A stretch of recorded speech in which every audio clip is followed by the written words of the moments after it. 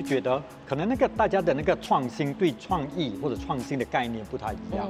举那个例子说新药，当然我们大家都引以为傲，可是我有听到另外一种不同的声音，他们觉得它充其量不过又是另外一个商场，嗯，不过它是做得更大。可是你讲到真正的创意是没有的，凭空。想象出来的另外一个完全新的点子的话，可能他们就觉得我们比较缺少。就是创意不一定要从凭空想象的那个空间来来探索，因为你可以举一反三，本身也是一种创意的理念嘛，对不对？对。比方说传统企业，如果它可以有一个新的思维来打造它新的经营方式，本身就是一种创新的理念嘛。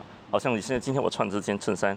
C Y C 的衬衫老字号，但是你看它这结合了很多新的这个设计元素，所以就变成比较新潮一些了，可以跟得上时代的潮流。而且现在它这个服饰在线上线下都可以上网采购了，不需要到那边特意的去量身定做。嗯，所以这种本身就是一种理念的创新啊。嗯，所以只要突破这个现况，就是一个创新的方案。对，其实我们通常可能有一个迷失啊，说创新啊，这可能人家。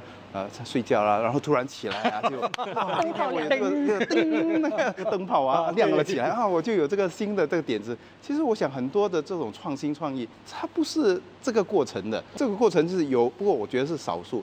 一般上的产品的创新是它是非常有纪律的去开拓。去进化它的产品，所以是一点一滴的。比如你说这个苹果的这个 iPhone，现在人家就说哦，这非常有创意。不过其实它的演变呢，是累积了十几二十年的经验呢，才有今天所谓的苹果这个 iPhone。部长，您觉得创造力是可以被培训出来的吗？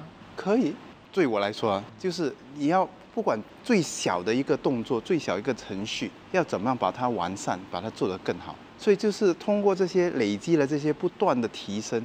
才会有这些所谓的大小的新的点子，那我们也不应该小看这种所谓的小型的一些创新啊，或者是一个提升，因为累积了这些小小的东西，就造成了一个更大的一种效果。所以对我来说，出发点还是一个心态，把每一天的工作做好，把每一天每一份工作的每一个流程都在问自己：我能把这个流程做得更好、更有效、更快，或者是更省时、更省资源吗？